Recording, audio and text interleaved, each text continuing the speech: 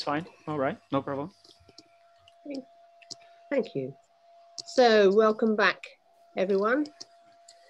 Uh, we now have a sort of repeat of the pattern that we've had before the break. Um, so that we'll, we'll start with two contributions, this time from Suryia Nayak from the UK and one from Joanna Skowronska, I'm sorry, Joanna Skowronska from Poland. Uh, and Suryia is a senior lecturer in social work at the University of Salford in the UK, works as a psychoanalytic therapist and supervisor. She's training with Group Analysis North, part of the Institute of Group Analysis in the UK. As an anti-colonial feminist activist, Suryia's principles of collective and group working are the foundations for her psychosocial activism for social justice. For the past four decades, Suryia has worked nationally and internationally to end violence against women and girls and for the liberation of asylum seekers and refugees. Suryia applies models of education as liberation based on the activism of Black feminism to raise consciousness about the psychosocial and political impact of oppressive social constructions.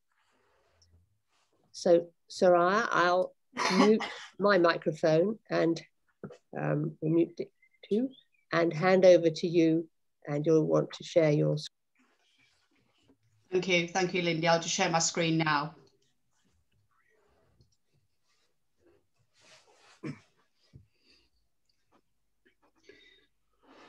Hello, everyone. The focus of my response is racialized misogyny. My main spotlights are misogyny is always intersectional. We are all implicated in racialized misogyny. Do not assume that group analysis is fit for purpose in racialized misogyny and we need a hospitality between established group analysis and outsider analysis.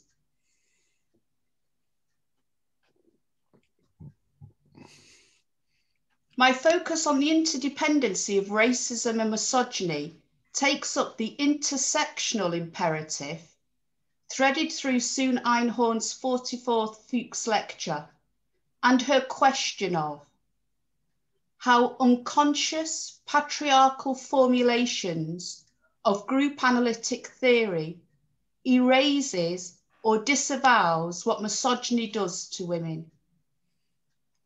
As an Irish Indi Indian queer woman of colour working within groups of women of colour, Einhorn's spotlight takes on particular complexity.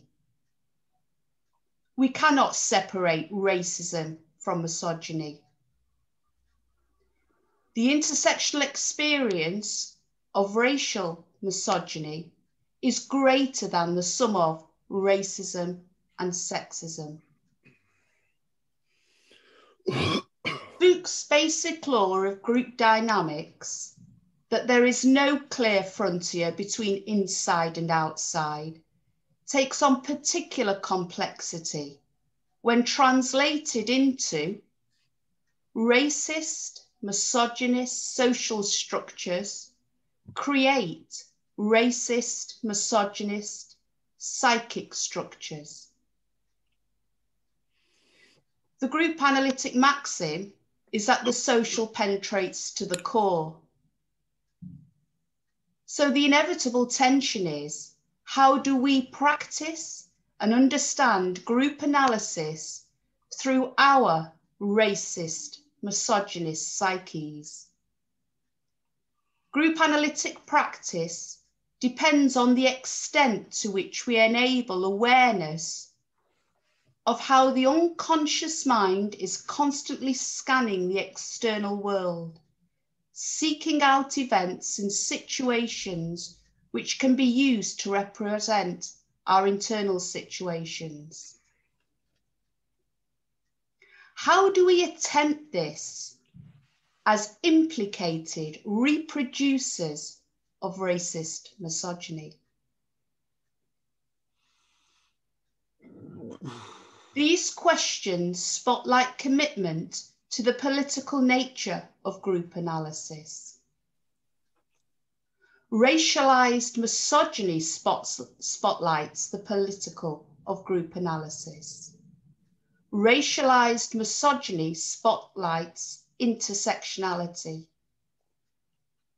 Racialized misogyny spotlights commitment as a sustained action to counter our individual and collective complicity with racist patriarchy. It's more than a hypervigilance of recognition. The ideas, language, clinical practice, organisational structures of international institutes of group analysis have and are evolving in a social unconscious where the public persona of Black women is shaped by archetypal fetishes of mammies, sapphires, Jezebels, and welfare queens. And archetypal fetishes of Asian women as Dragon Lady, Lotus Blossom, and China Doll perpetuated by sellout performances of Madame Butterfly. This year, on the 17th of March 2021, the shooting of six Asian women in Atlanta was performative of the archetype of Susie Wong, the prostitute with a heart of gold.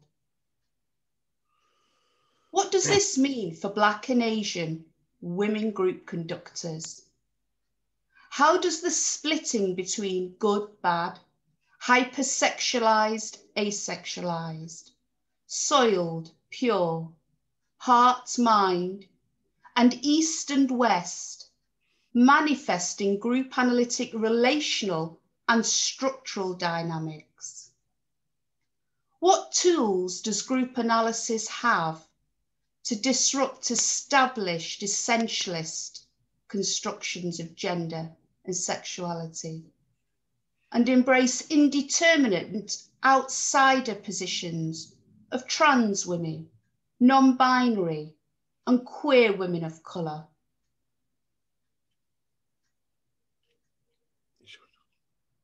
These questions are pivotal to how we experience mothers, desire, sexuality, potency, aggression, and love all of which are fundamental to group analysis, and none of which are homogeneous.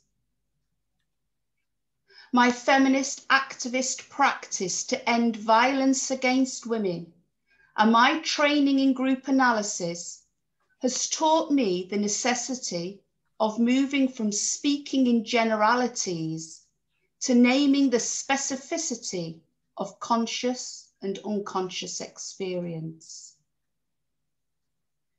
Moving from generalities to specificity is fundamental to the transformation of silence into language and action. I propose that group analytic concepts such as projective identification, countertransference and resonance must always, for it is always present, enable a naming of the nameless dread of racialized misogyny. The challenges of using group analytic concepts implicit in racist misogyny to enable a reparative naming of racist misogyny. Navigating the aporia of insider outsider positions is what we do in group analysis. What I'm doing here is naming the task in terms of racialized misogyny.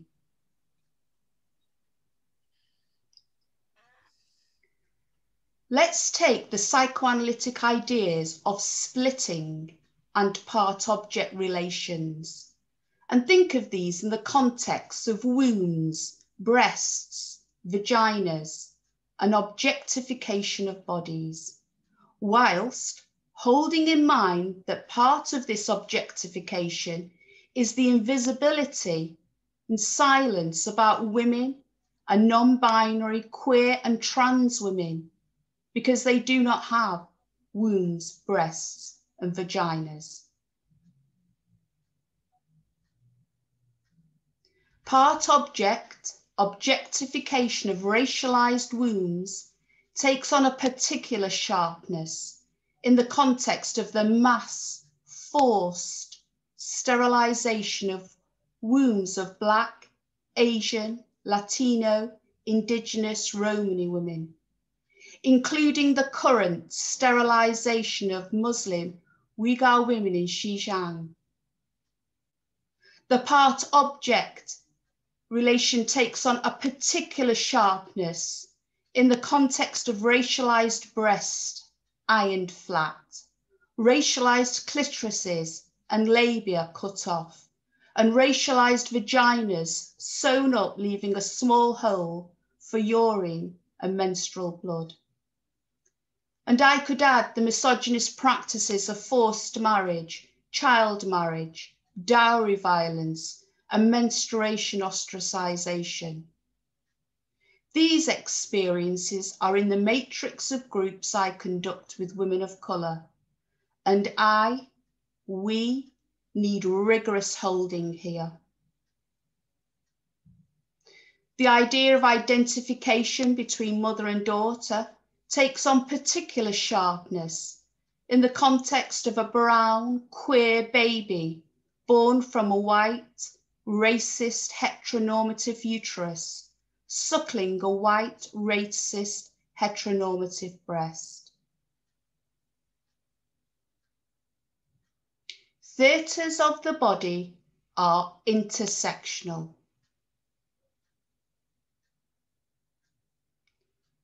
Did bad mean black? The endless scrubbing with lemon juice in the cracks and crevices of my ripening, darkening body. And oh, the sins of my dark elbows and knees, my gums and nipples, the folds of my neck, and the cave of my armpits. Are psychoanalytic ideas of somatization and body fit for purpose in racialized misogyny?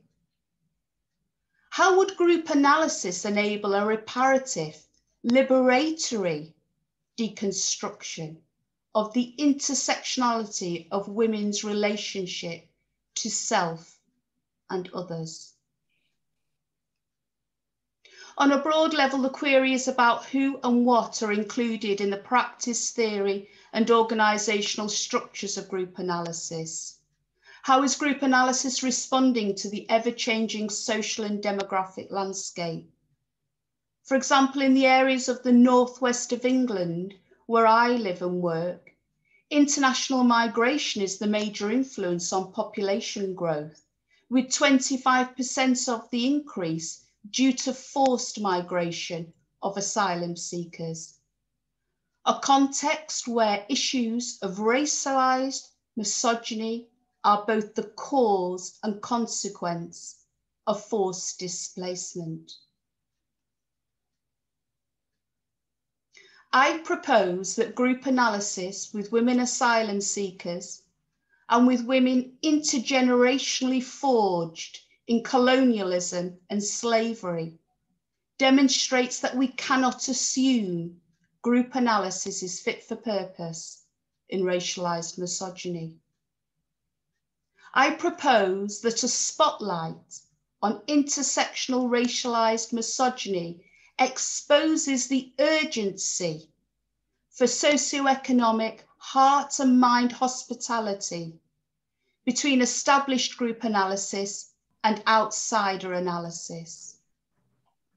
I call for an unconditional hospitality to outsider intelligence of anti-colonial Black feminist, critical race, and queer knowledge. in terms of the critical chorus and cage of emotions within group analysis generally, and in the context of intersectional racist misogyny specifically, I leave you with the words of Audre Lorde. This territory between us feels new and frightening, as well as urgent, rigged with detonating pieces of our individual racial histories, which neither of us choose but which each of us bear the scars from. Thank you very much. Thank you, Suryia. Brought yet another perspective into our day today. I'm going to move straight on to Joanna. Uh, Joanna is a training group analyst, supervisor and teacher at the Institute of Group Analysis in Warsaw. She runs small analytic groups in private practice and staff support groups for health institutions, as well as providing psychotherapy for individuals and families. She is interested in factors shaping relationships in groups in group analytic psychotherapy okay. and in the applicability of groups in different contexts. She's published on this both in Polish and in English. So thank you, Joanna. I'll hand over to you and let you share.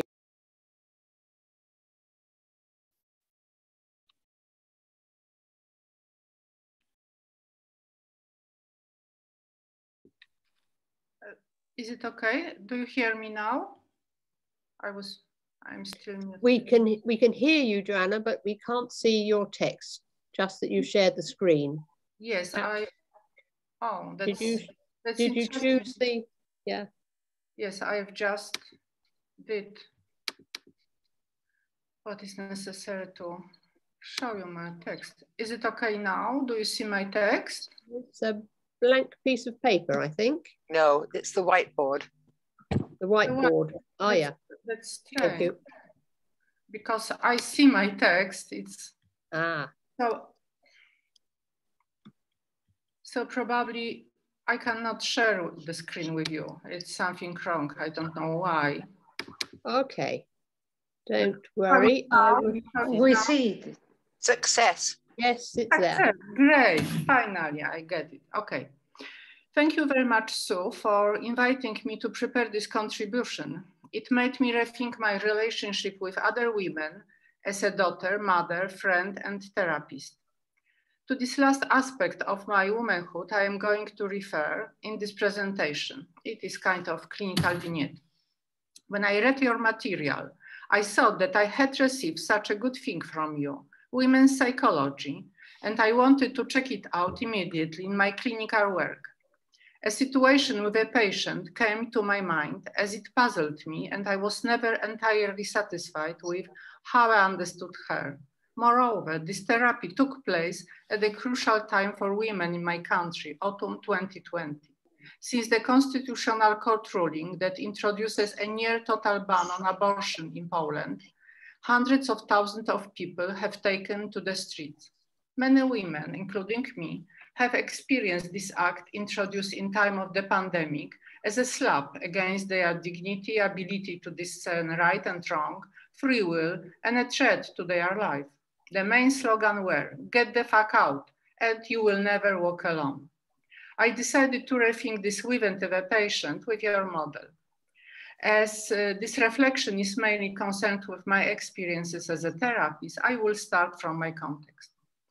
Mother and daughter, the social context. When I was a girl in the 1960s, my father sang or whistled while driving the car.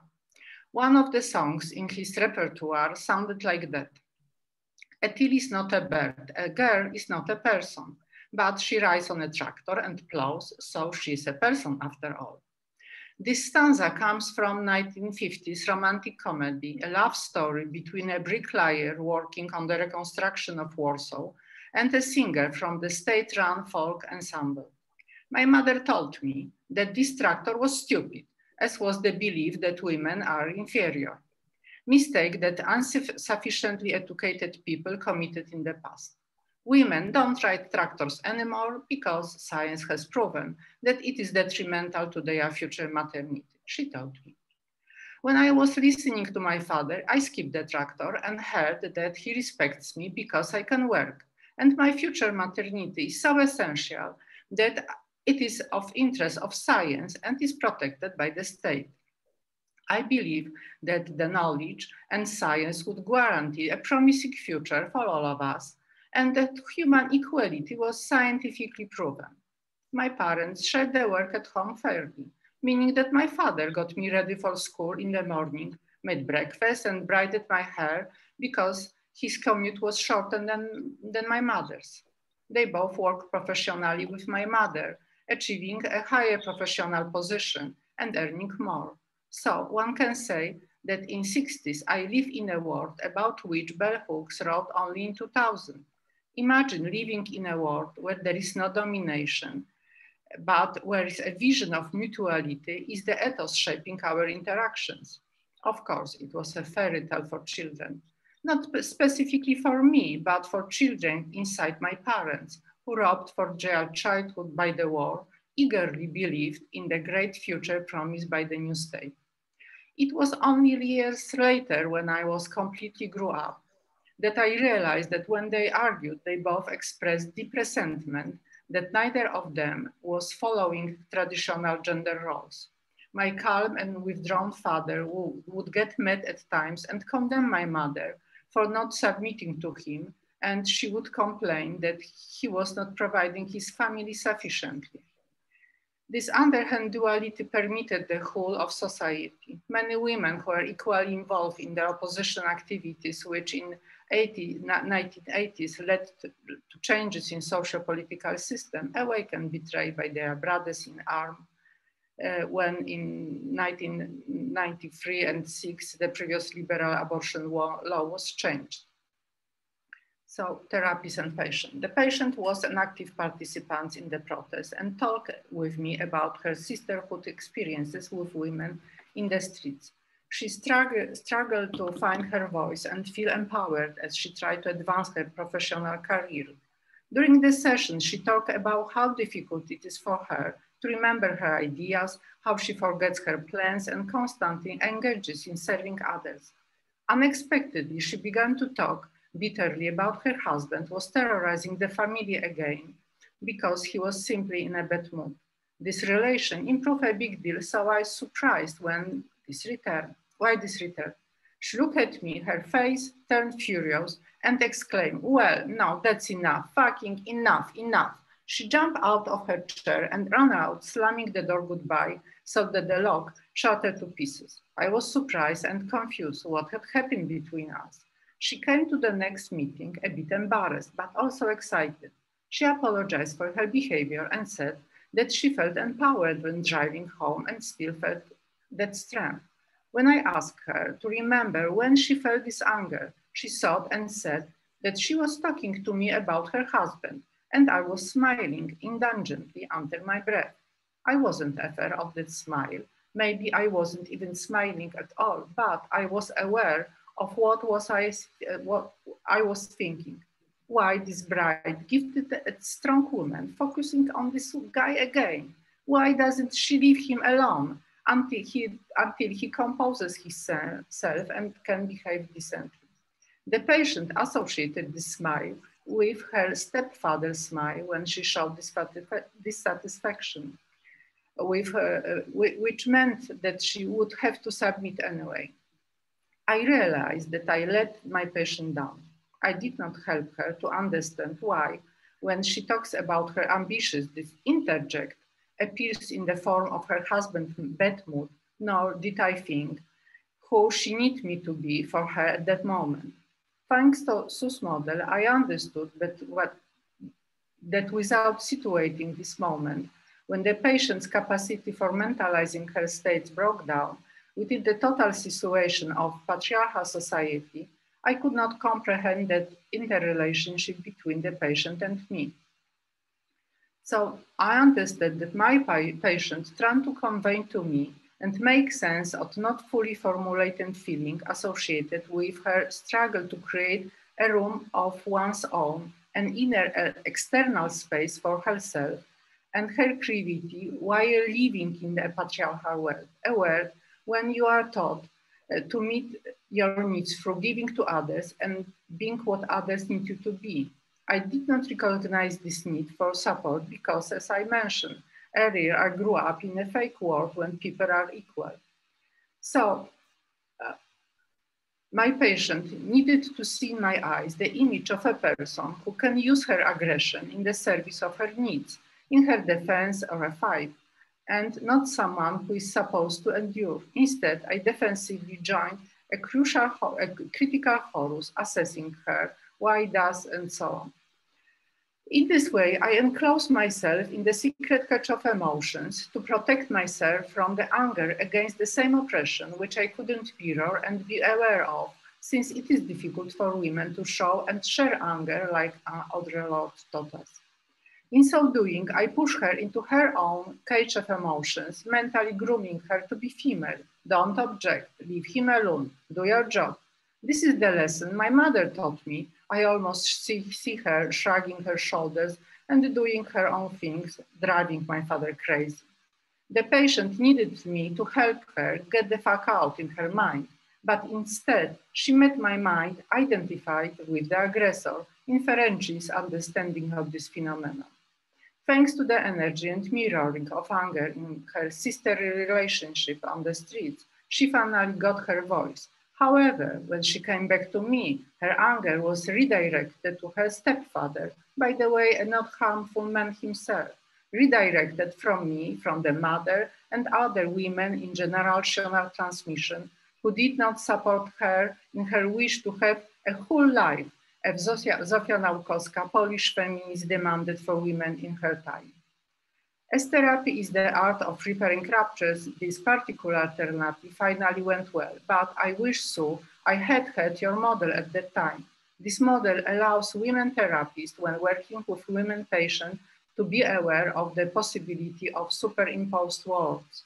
Uh, the term used by Janine Puget to describe the situation when the therapist and, and patient are immersed in the same anxieties and preoccupation arising from context of their daily lives. In such cases, analysts probably do not have the psychic distance and time to establish the analytic relations, as it happened in my case. Moreover, it allows us to understand dependency concentration on others, not as individual, individual personality traits of women patients, but as adaptation to specific social context, so belonging to nos and not to the ego, as Tom or, or would say. This is not only changes the line of psychotherapy, but prompts to question the same, same fundaments on which psychotherapy is based. The, in contemporary culture, values such as separation, autonomy, and personal development have priority over affiliation, care, and concern for others. So women are expected to be empathic, devoted to others, only to be blamed not for not being autonomous, separated enough, and self-fulfilling, which are traits attributed nowadays to mental health. I am curious how often I and other women therapists with their women patients went through the same wrinkle of mental states described by Sue. Thank you very much. Thank you so much, Joanna. I can see a lot of clapping. Uh, we've had a very rich supply today uh, of talks of new thoughts and ideas, which we will need to take with us into our uh, reflection, reflective groups now.